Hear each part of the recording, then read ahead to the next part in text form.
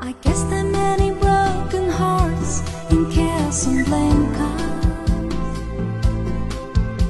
You know I've never really been there, so I don't know.